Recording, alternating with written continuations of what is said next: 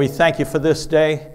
What a beautiful day this is. This is the day that the Lord has made. I will rejoice and be glad in it.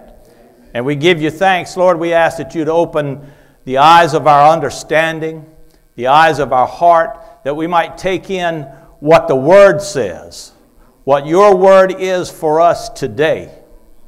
And we give you thanks in Jesus' name. I would like to open by, by saying that in 1 Peter 1 2 and 2 Peter 1 2, he gives more or less the same greeting. And he says, Grace and peace be multiplied to you. Multiplied. Now that reminds me of a story about Noah. The flood was over, the water had receded, the land had dried out he was fixing to open the door, and he got all the animals together, and he blessed all the animals, and he said, Be fruitful and multiply. So he opened the door and, and let them go out. Then he, he went out a little while later, and he came across two snakes, and they were crying. And he says, What's wrong? And they said, You told all the animals to go forth and multiply. We are adders. Add, multiply. You'll. Two o'clock in the morning, you'll wake up and say, "Oh yeah, that that's what he's talking about."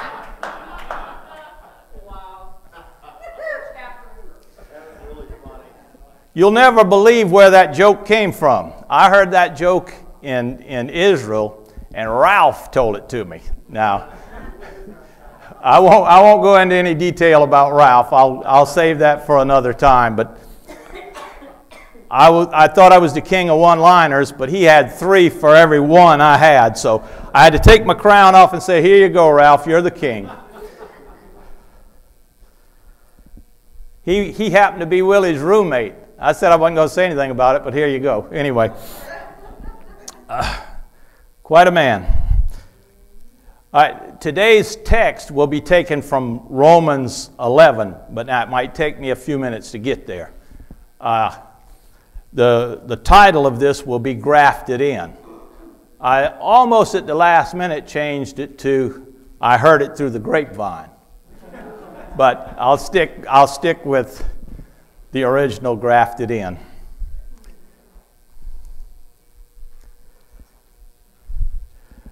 Many times the Bible uses, uh, Rick, how about take that off? That's a little distracting. Everybody's looking up there at that. Just leave a blank screen for now. I appreciate it, and if I knew you had all those slides, I wouldn't have had to make all these, all these trees and all. But uh, many times the Bible uses uh, symbolism, metaphors, and, and parables. When when the children of Israel were in the wilderness, God instructed Moses to make a menorah. Uh, and that's a, a golden lamp uh, lampstand. Just in case you're wondering what one looks like, somebody left one back here.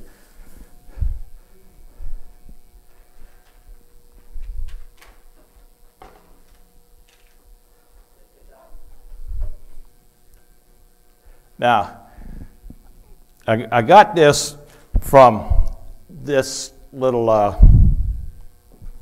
whatever you call it, that I'm wearing on my shirt. And it's grafted in, and it's a menorah and a fish.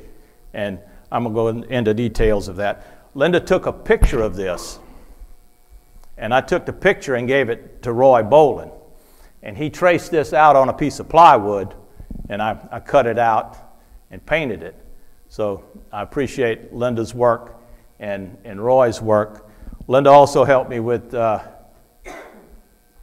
some of the other props that I have. And when I mentioned what I wanted, she knew exactly where to go, which store to buy what I needed. See, she's been practicing all these years, going to all these stores. I thought she was just out there randomly shopping, but she was just taking an inventory so that when I needed something, she knew exactly where to go. So, plus she typed up all my notes. Uh, I appreciate it. Thank you, Linda. And thank you, Roy. You're not here, but, but thank you. Now, there's a lot of symbolism in this menorah. It was one of the uh, earliest symbols of, of uh, the nation of Israel.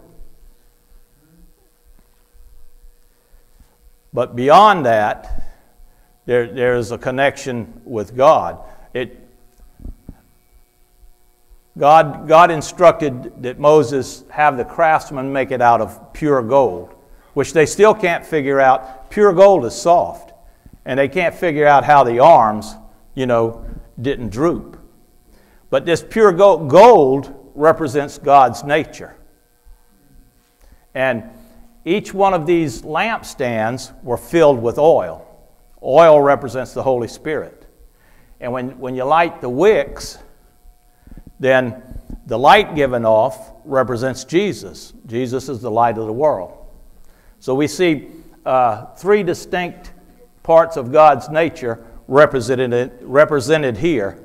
And the nation of Israel took that as their, as their first uh, representation of, of who they, uh, as, as a nation. Now, some translations, instead of calling this a, a lampstand, they call it a, a candle holder. All right? You got the candle, it's made out of wax. Now, even some uh, menorahs that, that they use now, that the Jews use now, they have candlesticks.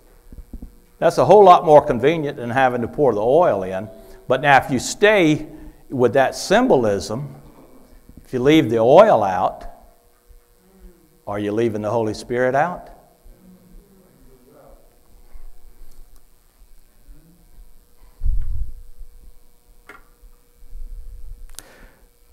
Now it's fitting that Israel would use the menorah as a symbol of their nation because God called them to be a light to the Gentile nations. His desire was for them to draw nations to Him. God didn't choose Israel because they were a great and powerful nation. He didn't choose them because they had a great and powerful army. He chose them for just the opposite reason because they were small and weak, and He wanted His power to go forth and he wanted to be able to get the glory for himself and, and not for man to say, oh, well, we did it by our great strength.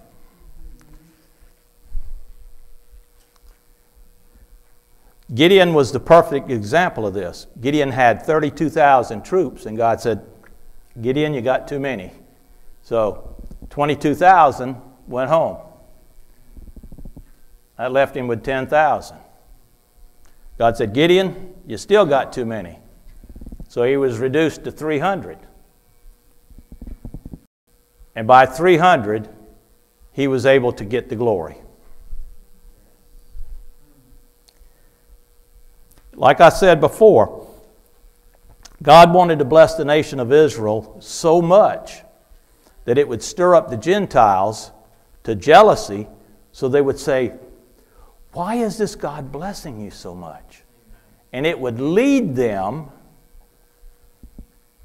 to the living, to the living God. Even in the Old Testament, it talked about uh, the Gentiles would, would eventually serve God. Now, I, I tried to make this uh, menorah big enough if, if you're listening by CD, I tried to make it big enough where you could see it, but we're still working on that technology. It's hard to see anything over a CD, so anyway, but you can go to our website, shieldoffaithchurch.net. One word, all small letters, no capitals, no spaces, Shield of Faith.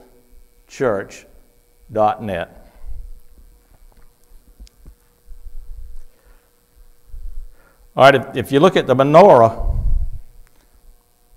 it has seven branches.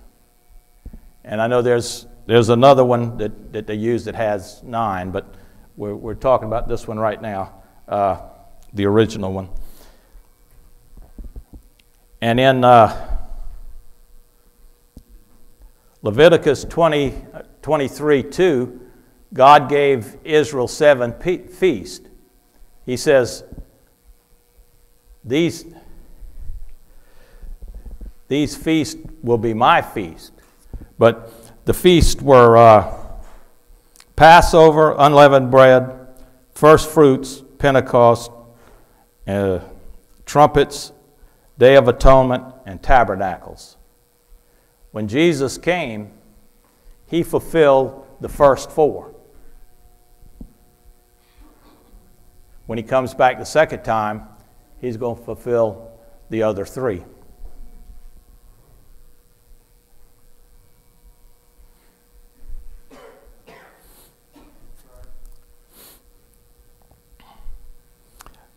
All right, yeah, I said before that the menorah is a symbol of the nation of Israel, but it also represents the nature of God, the Holy Spirit, and Jesus' purpose while he was on earth to be the light of the world. You know, when I was studying this, Rick put up uh, Revelation 120. I never saw any connection about this verse with the menorah, but it says, as for the mist, and now you know there was, uh, John was writing about, about the seven churches that were, that were there, and these churches some people say they represent churches throughout, throughout history, seven different uh, periods of time. But uh, it says, As for the mystery of the seven churches which you saw in my right hand, and the seven golden lampstands, it's funny, Scripture interprets Scripture. The seven stars are the, are the angels of the seven churches, and the seven lampstands are the seven churches. There's seven churches, and they're represented by seven lampstands. This is a lampstand. There's seven of them. Could that be a picture of a menorah? Seven lampstands? I'll leave that for you to, to think on. I, I just, that, that thought, that scripture just popped into my mind while I was doing this studying. So, uh, you know, you, you take that and, as Pastor Bob says, put it on your shelf, you know, what, whatever, whatever. All right, one of the uh, early symbols for the church was a fish.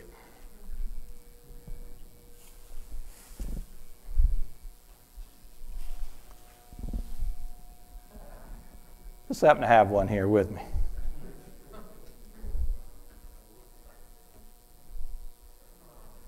Now, what you see here is the same thing that I have on my shirt. In fact, that's probably what stirred a lot of this up. Uh, I, I, started this message in Israel. And Willie, Willie does his little, little taping, and I, I started with that, but I didn't have the props, and I tried to I said, Willie, can you get a picture of this? And we kind of took a picture of it, but it, you know, it didn't, it, it just didn't seem to flow. And so I decided, well, we go ahead and, uh, and, and set that up. All right. Now, I, I just want to, I, I want to turn this around. Uh, I don't know if you, you can see the menorah. It's up here, and it comes down, and then you got the fish with, with the two, the, the tail fins. But let me just turn this around for, for some emphasis.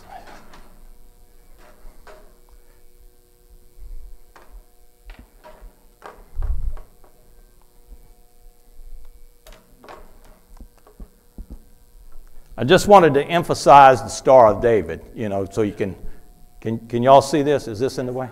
Okay.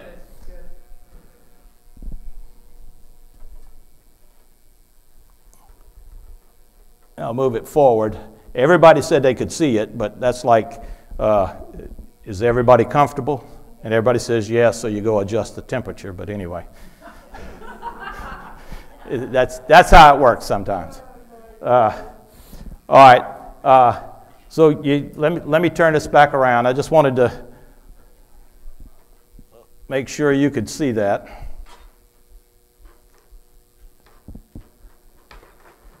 I bought this stand to put some flowers on, not knowing that I would be able to uh, use it for this.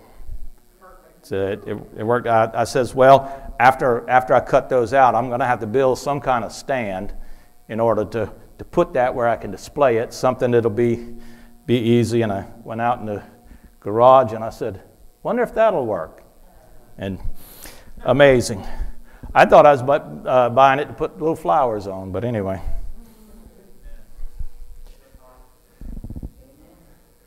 It, it, always, it always amazes me how God can, can be ready before you are, but you just don't know it. It seems like I heard a thing about before the foundation of the world, Jesus was slain. Before he even made Adam and before Adam sinned, he'd already taken care of the problem. Amazing. All right. Now, do you know that all three of these symbols right here are Jewish? You say, yeah, well, I know the menorah is, I know the Star of David is. But the fish? I thought you said that was the, the symbol of the church. I'm glad y'all were listening.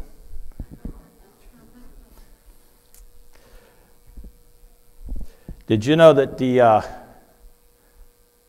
that the early church was 100% Jewish?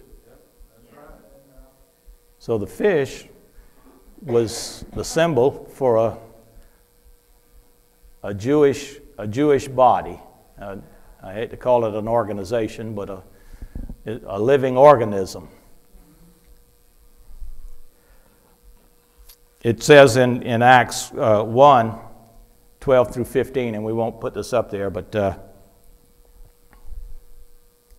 it says the disciples, you know, except for Judas, who had hung himself, and, and the women, and Mary and, and her sons, Jesus' brothers, and other Jews were all together in one place in the upper room.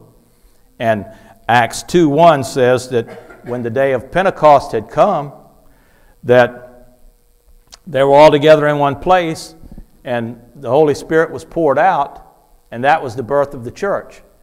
Everybody, would, everybody that was there were, were Jews. Now it does say in uh, Acts 2.10 that there were proselytes there. Now, what are proselytes? Proselytes are Gentiles who were converted to Judaism. Now, are they considered Jews? They, they have become Jews, they, they are in the Jewish faith. So, the church, except, except for those, it was 100% Jewish. And it's like I was discussing that with Linda, and she says, Well, when you become a Christian, you're, you're, a Christian, you know, regardless of what your background was. So, did they become Jews? They were Jews in religion. So, uh, I'm saying that the church, the early church, was 100% originally Jews. And, you know, it, it says in Acts uh, 2.41, it says that uh, Peter preached a message and 3,000 Jews were saved. So,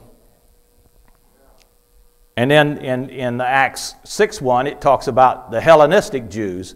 They were Jews, but they spoke Greek, but they were still Jews. So, uh, my point is that, that these people, uh, you know, it was 100% Jews. You say, well, all right, what about the scripture in uh, John 4 41, where the Samaritans believed in Jesus? He went to the woman at the well and then they went into Samaria, and, and they believed.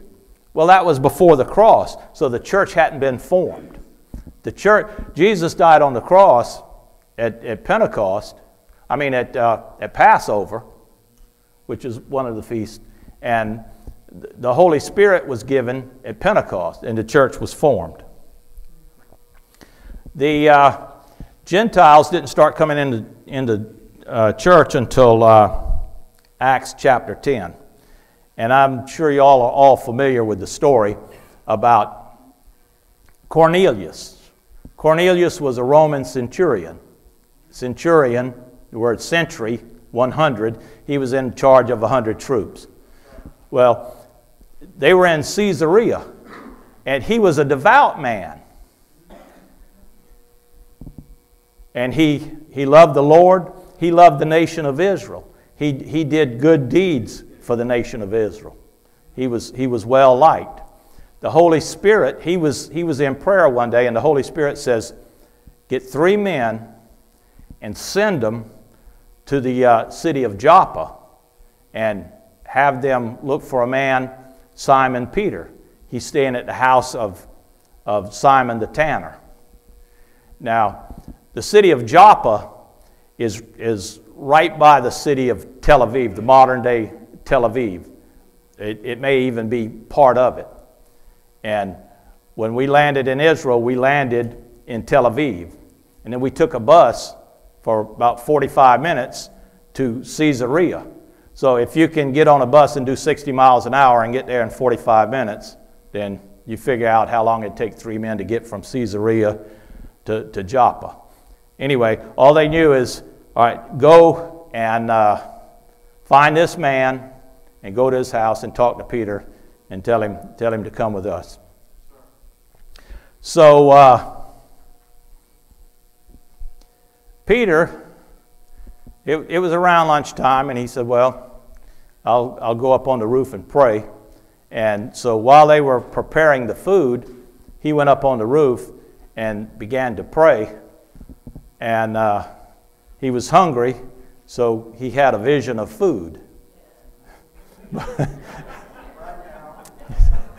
but, well, yeah, he did in a way. So uh, he goes up to pray, and he goes into this trance, and he sees this sheet come down by the four corners, and it comes down three times, and it's full of all kind of creeping things, you know, all kind of animals, unclean things, and a voice comes to him, and the Lord says, Peter, kill and eat.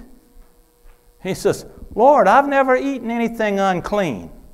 And the Lord says, What I've called holy, don't you call unclean. Now, some people take this and they say, All right, this is talking about food, everything is good to eat, and yeah, you can use it for that, but it's a, it's a deeper meaning here. It, it's really, it's talking about the souls of men. And it's, it's talking about the Gentiles. It's talking about, you know, the, the people I've cleansed, don't you call them, don't you call them unholy. And so, Rick, put up uh, verse 17, Acts 10 17. Now, I, I want, I want to I want to ask you a question. Where is the miracle in here? All right, I want to read this. Now, while Peter was greatly perplexed in his mind as to what the vision he had seen might mean, behold, the men who was sent by Cornelius, having uh, asked directions for Simon's house, appeared at the gate. Now, do you, do you see a miracle in there? anywhere? Hold your hand up if you see a miracle in there. All right? What, what's the miracle?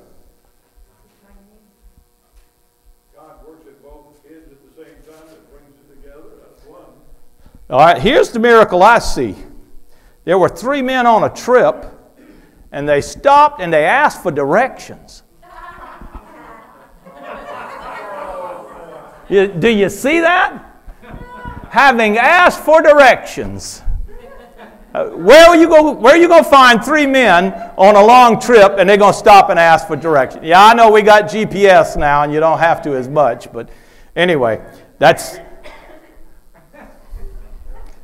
I know you can dress me up, but you can't take me anywhere, right? Anyway, sorry about that. So Peter was pondering what this meant. And the Holy Spirit told uh, Peter to go downstairs. There's three men down there, and I want you to go with them because I've sent them. So Peter went to Cornelius's house, and there was a very large crowd there of family and friends for, of Cornelius's. And uh, Cornelius says, Well, the floor is yours. You just tell us whatever, whatever God has laid on your heart. And while Peter was, uh, while Peter was speaking, while Peter was speaking to them, the Holy Spirit fell upon all those who were listening to the message.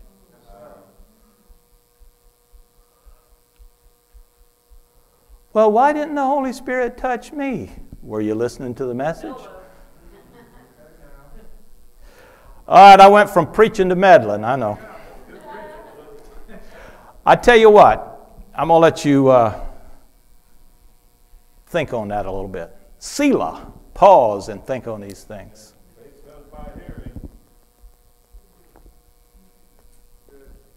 And hearing by the Word of God.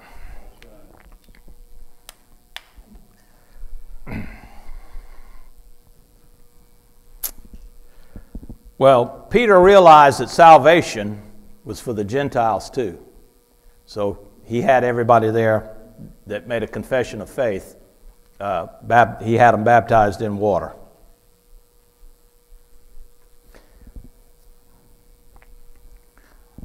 All right, I'm, I'm going to go to meddling again. I saw a bumper sticker on a truck one time, and it said, If you got it, a truck brought it. That's right. Well, I want to apply that to salvation. Salvation is the same way. If you got it, a Jew brought it. Jesus himself said in uh, John 4:22, salvation is from the Jews. Now, if you don't believe this statement, if you have a problem with it, take it up with him.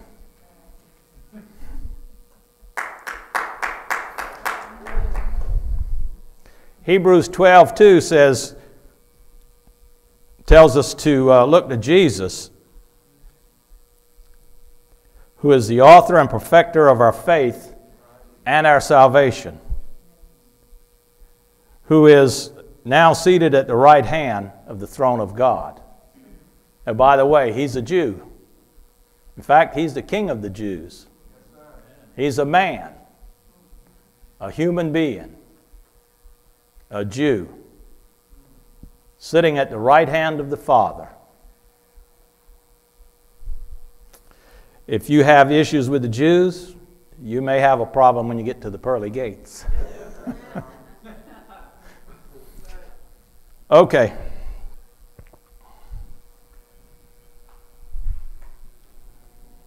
Now,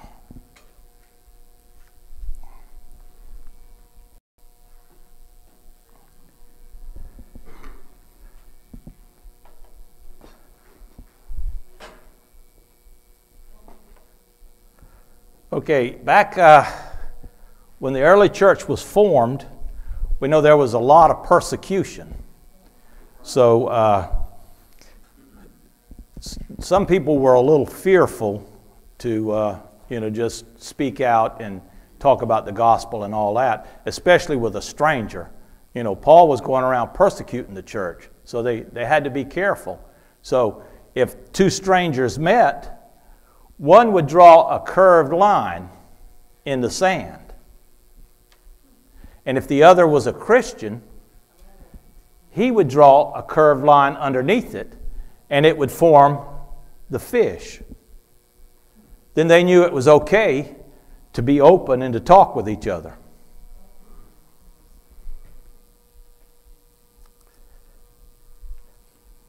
Besides the fish, the cross has been a long standing uh, symbol for Christians.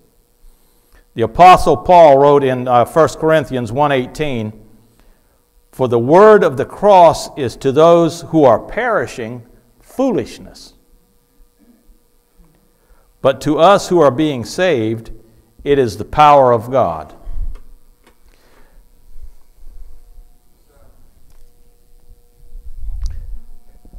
Whether you use the fish as a symbol or if you use the cross. Is that amazing? Two symbols, one meaning. The cross or the fish. The fish represents life because that was a, a main way of staying alive back then, a main food supply. The cross represents death. You have to have death before you can have that resurrected life. So, regard either either symbol you use, the, the point is the same.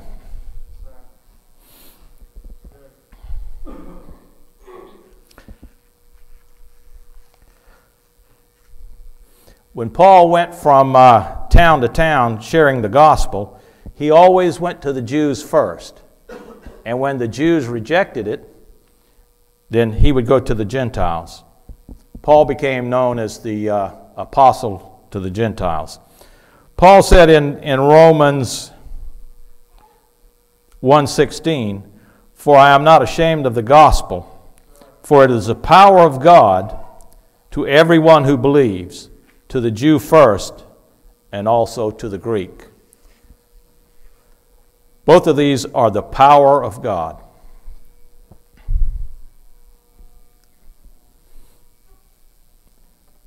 Now there's, there's been a, a false doctrine that's been preached for, for many years. And the name of that false doctrine is replacement theology. And it wrongly states that God is finished with the Jews. And any scripture reference you see where it was talking about Israel, you can just substitute the church in there. This is utterly ridiculous. Now, how do I know this? Romans 11 1, Paul says, I say then, God has not rejected his people, has he? May it never be.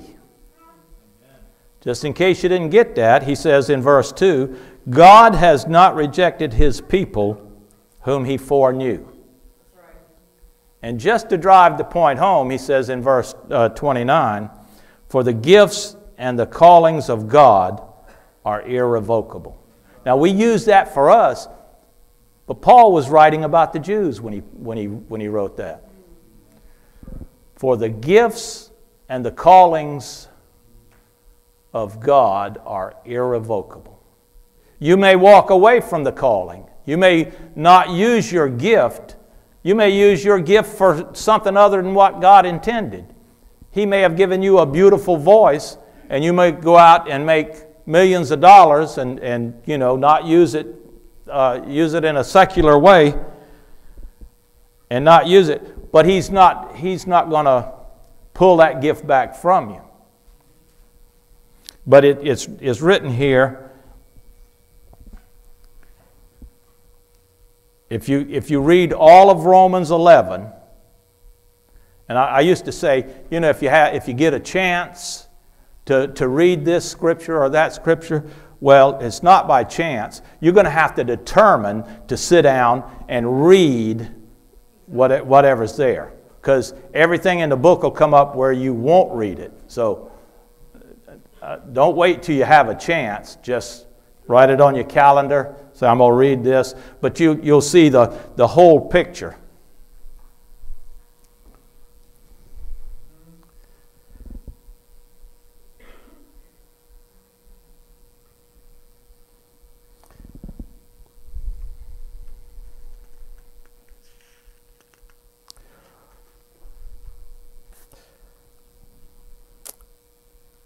All right, Rick, let's put up uh, Romans 11 17.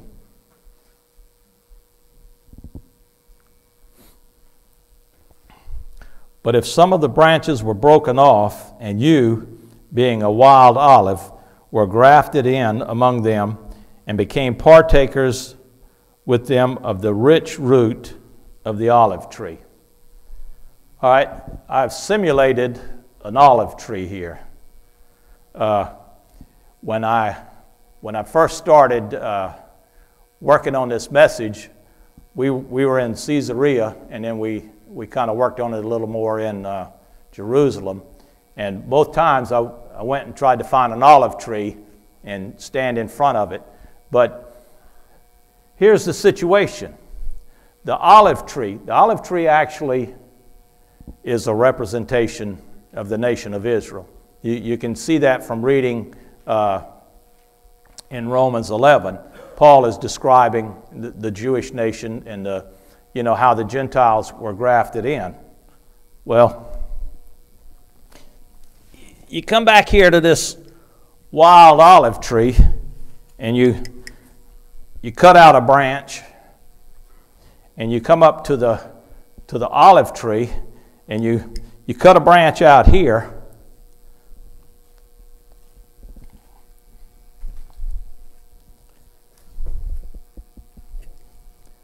and you graft this in. And it, it produces fruit.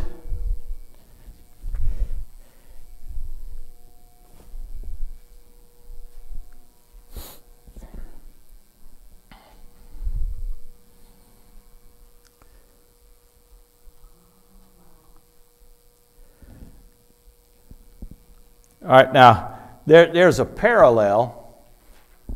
Paul talked about the olive tree and how we as Gentiles are grafted in, Jesus used an example of the grapevine. And Willie taught on this for several weeks in Sunday school, and he really did a great job. And uh, I just kind of incorporated that in. And in, in uh, John 15, Jesus, in, in the first verse, Jesus says, I am the true vine what, what does that mean? If I am the true vine, then maybe there's some vines out there that aren't the real thing. Jesus said, I am the true vine. My Father is the vine dresser. Every branch in me that does not bear fruit,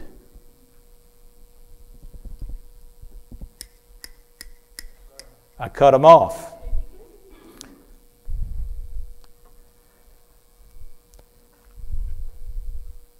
He, he takes away, and every branch that bears fruit, he prunes that it might bear more fruit.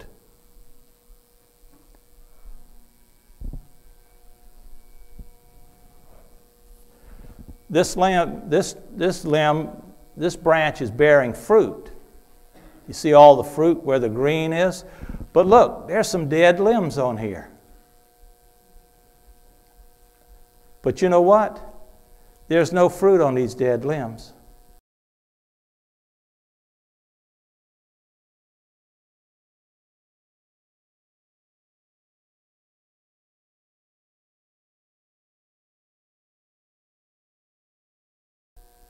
Isn't that amazing?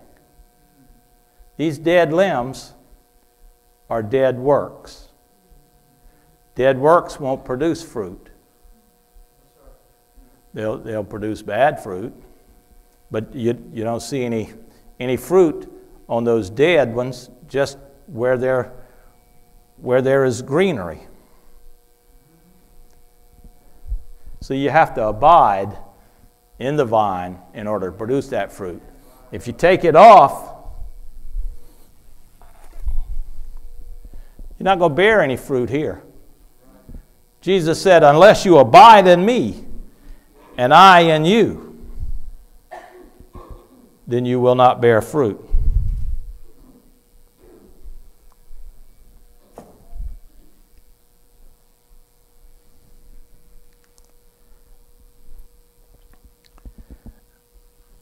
In uh, John 15, 5, it said, I am the vine, you are the branches. He who abides in me and I in him bears much fruit.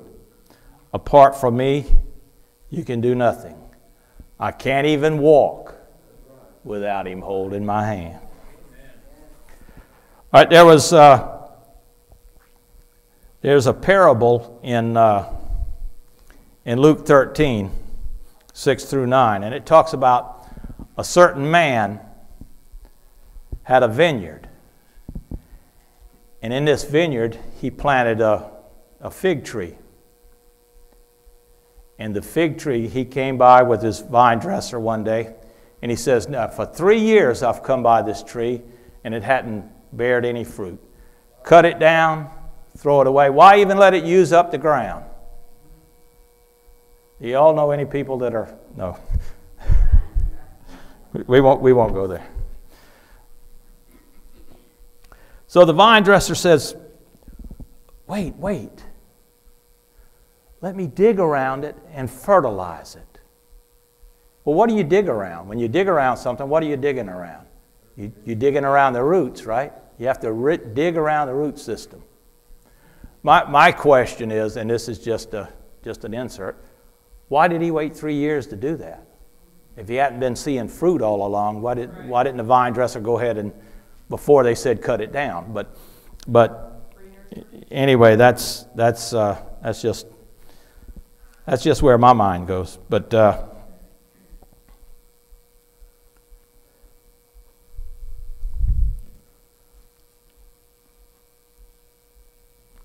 the vine dresser said, Let me dig around it and fertilize it.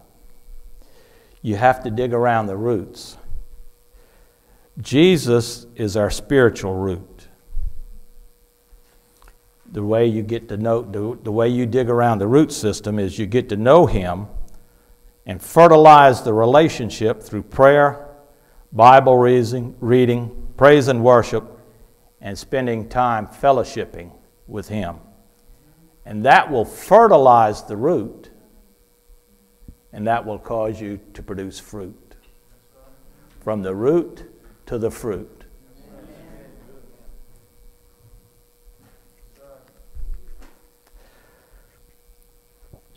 All right, back to, to Romans 11 16. I don't know that we went there, but anyway. Uh, Romans 11 16. Put that up, put that up there. Okay. If the first piece of dough is holy, the lump also. And if the root is holy, the branches are too. If Jesus is holy, you are holy. All right. I, I don't know if you figured it out by what, what I've been teaching, but I love the Jews. There's, there's no question in my mind that I love the Jews, and I want to I want to do a demonstration. I want to turn this menorah upside down, and I don't I don't want to offend anybody, but this is just for a demonstration, and I I don't, I don't see where it would, but but I just want to.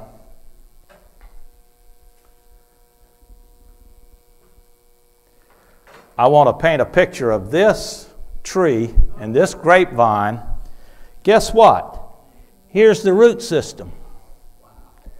Now, what I'm going to do is, is make a plant.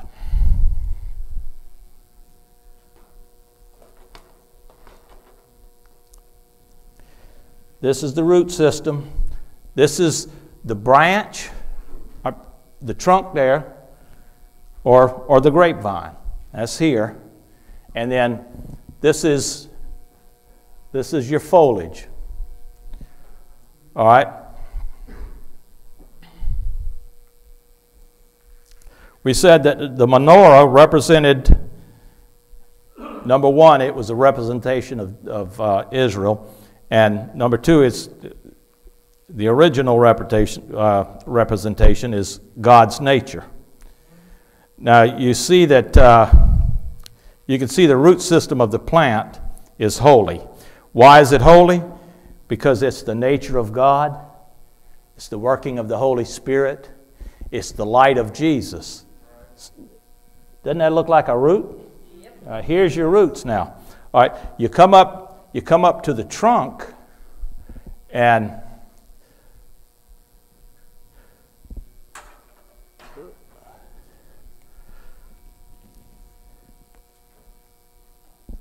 the Bible says that Jesus was of the root of David.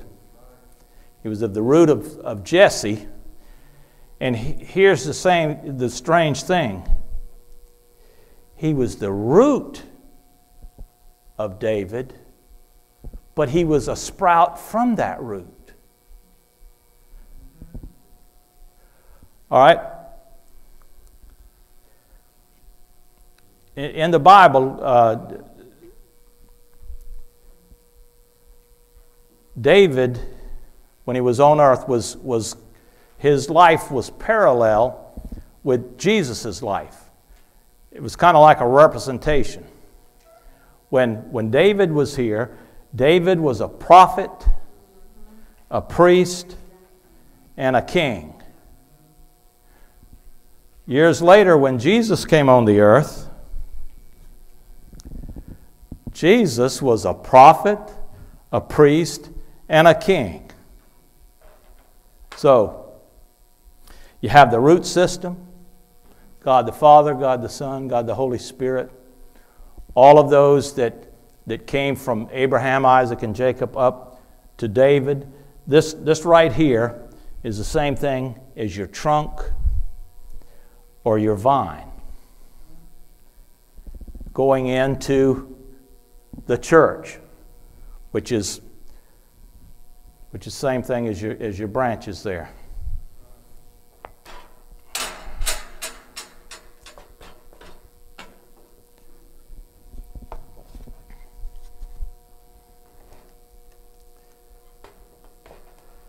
I had no clue when I bought this stand. Who knew? God. God knew. It, it just amazes me sometimes. And why I picked to stand over this vent, I don't know. But anyway, if you wonder why I keep looking down, it's, it, it's not on, it's just I'm on it.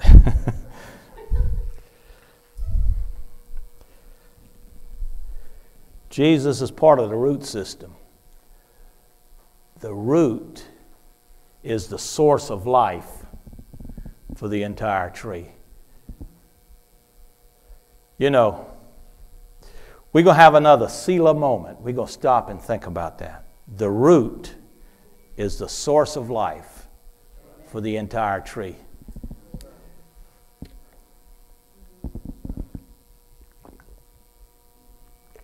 That's why when, uh, when you have a problem with sin,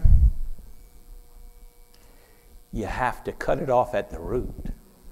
You have to destroy the root, or it'll keep coming back.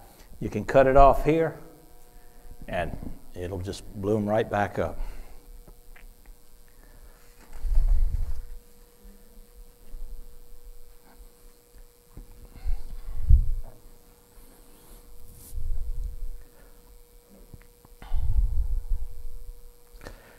I said before, if the root is holy, the, the whole, uh, the branches are holy too. Now, how can Jesus be the root and be, be the trunk or the vine and be here? The Bible tells you how that can be. It tells you in uh, Colossians 3:11 that Jesus is all and in all. In other words, he's throughout the whole the whole tree. Maybe that's why he's the tree of life.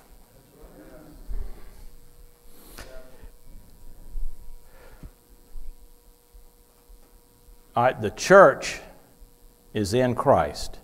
Have, have you ever heard uh, any teachings about, well, the church is the body of Christ, so it's male. But wait a minute. The church is the bride of Christ, so it's female. how can, how can you uh, make those co- coexist? Very easy. Ephesians 2:15 says that in Christ himself he made the two into one new man, the church. He also says that concerning the Gentiles and the Jews. You have Gentiles here, you have Jews here. How do you get rid of that collision? They're one new man. Pastor Bob was talking about one new man Wednesday, and I said, wait a minute now, don't go preaching my message now. but but I, I find out a lot of times when I have some scriptures written down and I'm ready to bring, whoever speaks before me will bring out all kinds. Wait a minute now. but, you know, that's God's way of letting you hear it two or three times from two or three different sources, you know? So, Galatians uh, 3.28 says, There is neither uh, Jew nor Greek, neither slave nor free man. There is neither male nor female, for you're all one in Jesus Christ. And you know, you can put the two opposite sides here, whatever, whatever factions that don't seem to agree, if you put them in Christ, if you put them over here, they're going to continue to butt heads. You could put in, if you go to Ireland, you could put the Catholics and the Protestants. You know, they shoot each other. But when you're in Christ, you don't.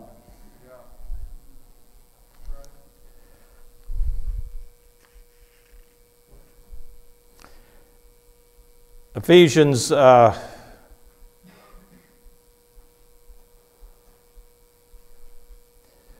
I, I don't know. I got one through three, one through six, but uh,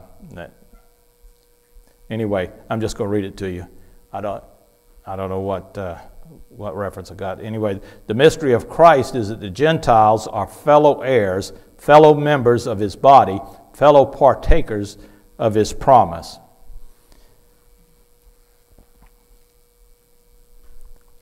All right. Uh, I'm, I'm going to have to wrap this up. So, this is my first closing. Uh, I don't know how many I'll have, but uh, this is my first close.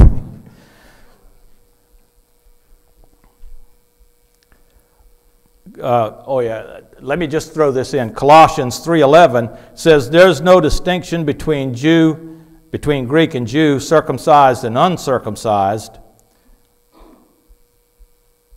and it says barbarian, Scythian, and it says slave nor free, but Christ is all in all. And we talked about that before. But one thing I didn't notice until I got to looking at this, it says there's no distinction between Greek and Jew, circumcised and uncircumcised. Then I thought it went on to barbarian and Scythian. But really, circumcised is one classification, and uncircumcised, barbarian, and Scythian is another. Because as far as the Jew was concerned, all uncircumcised people were barbarians. So, what are Scythians? They are the barbarians' barbarian. They were the worst of the lot, the cruelest people, just the, outcast of the world. So here you got uncircumcised and the worst of the worst together in Christ.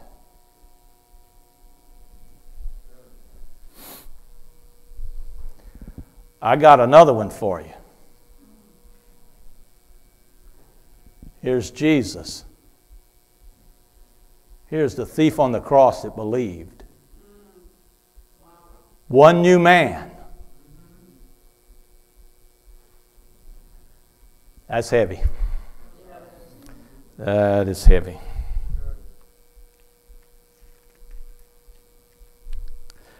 Paul gives us a warning as Gentiles in Romans 11:18. Do not be arrogant towards the branches. Who are the branches? The Jews. But if you are arrogant, remember that it's not you that support the root, but the root supports you.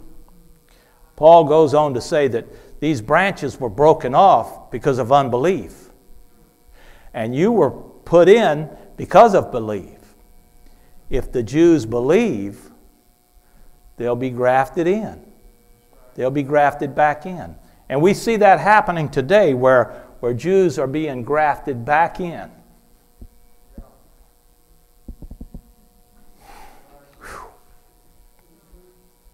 Just another sign of where we are.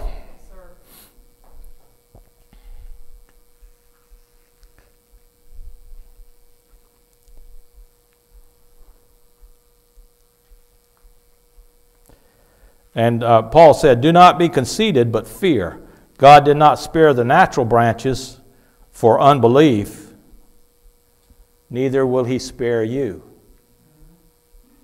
What does that mean? Well, read Romans 11 and you, you make up your own mind.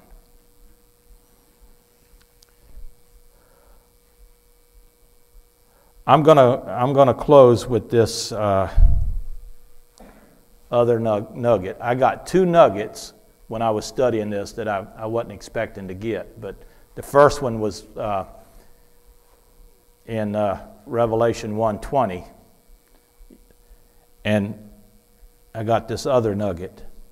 And I, I want to talk about Noah, but I'm not going to talk about the adders or the multipliers. But I'm on a, I, I tend to set myself up by, you know, joking around. And uh, Willie Preston told me one time, he says, I, I can't tell if you're serious until the punchline comes.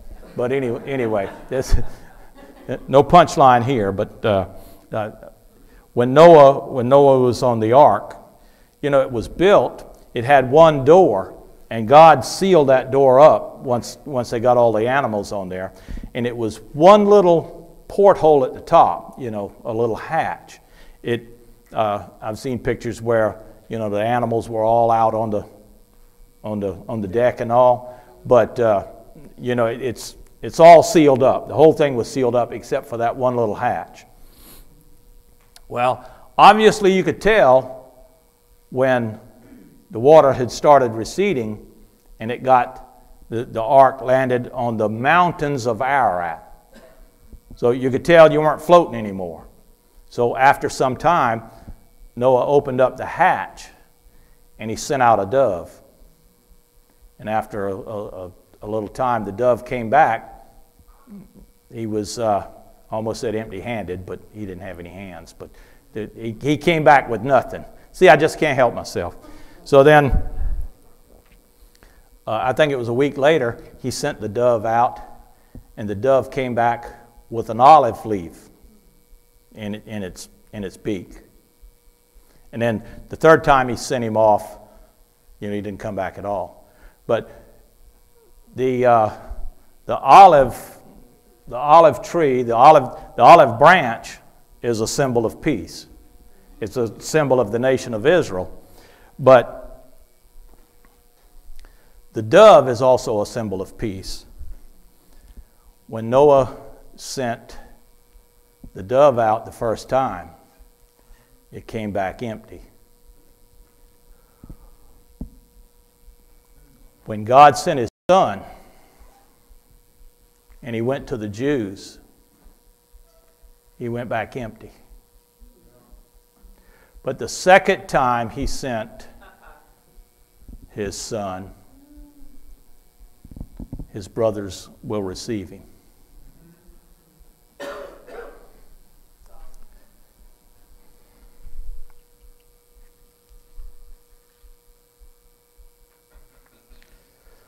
The first time Jesus came, the angels proclaimed peace on earth, goodwill toward men.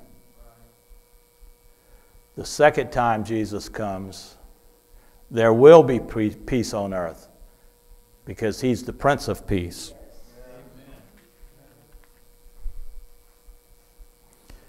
All right, I want to close. What is this, my third closing?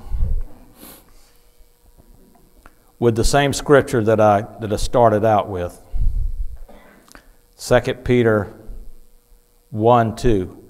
Grace and peace be multiplied to you. But if you read the rest of the, the scripture, it says, Grace and peace be multiplied to you in, and the King James says through, through the knowledge of God and of the Lord Jesus Christ. The better you get to know God, the Father, and His Son Jesus, by spending time with Him, the more grace and peace will be multiplied to you. That's all I have. Thank you.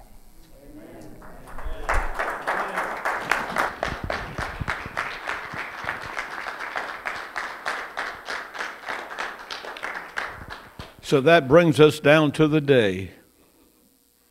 The offering of salvation, the favor of God is available for every individual today, Jew or Gentile. Doesn't make no difference because it all goes back to Adam. For in Adam all have sinned, but in Christ all can have salvation. So if you're here this morning and you've never received Christ into your heart and allowed Him by His Spirit to cause your inner man to be born again, we invite you to come up and we'll pray with you. If you're here and you're a Christian and you've been walking afar off from God, come on back home. God calls you back home. He misses you when you're way out there. So come on back home and begin to follow the Lord. Let's just bow our heads down. Now, you know what God has spoken to your heart. Just do what the Holy Spirit has revealed to you in this message and through this message. If you need to come to the altar, it's, it's available.